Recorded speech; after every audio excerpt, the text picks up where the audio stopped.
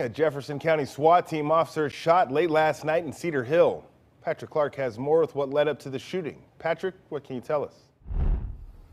Yeah, good morning, Ty. We are here in Cedar Hill. This happened last night, Friday night, just uh, before midnight, and and this happened while officers were trying to issue a search warrant.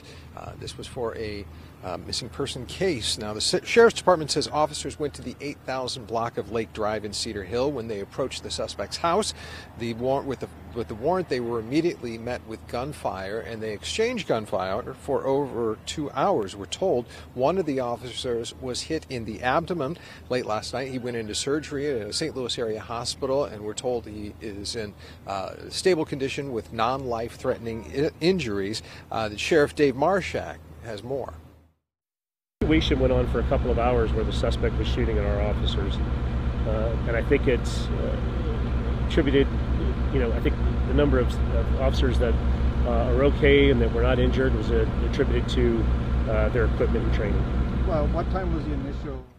Yeah, so that officer in stable condition with non life threatening injuries. We're told that the warrant was for a missing person and homicide case that the Jefferson County Sheriff's Department has been working on for some time. In Cedar Hill, Patrick Clark, Fox 2 News.